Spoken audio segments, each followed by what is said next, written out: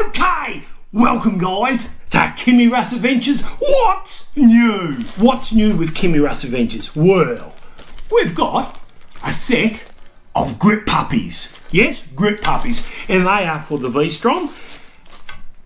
And we will show you how to install them. Well, I think I will.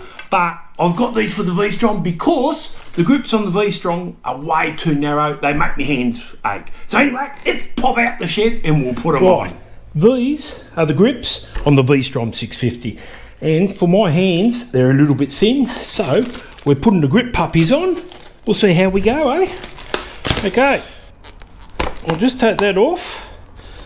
Take that throttle rocker off. So we'll just measure it. This one is very important to get right because it is the side of the throttle.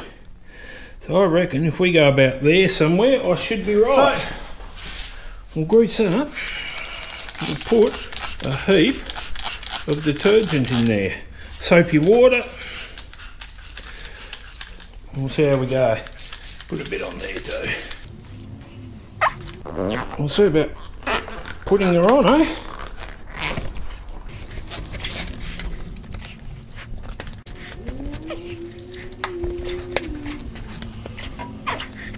Going on slowly.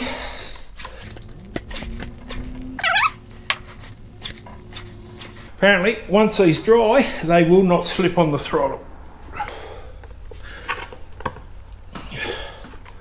So, I think we've just about got that, you know. We will just clip that back in.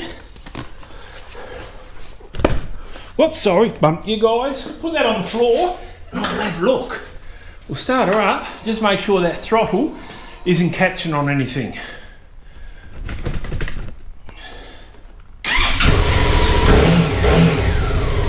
Tell you what, those grips feel a lot better.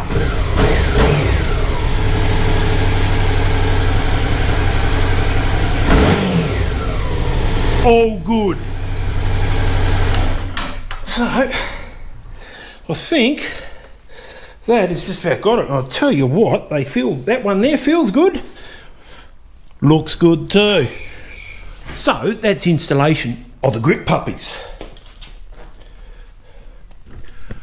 So, that, all done and dusted, that's another What's New with Kimmy Russ Adventures. Bye guys.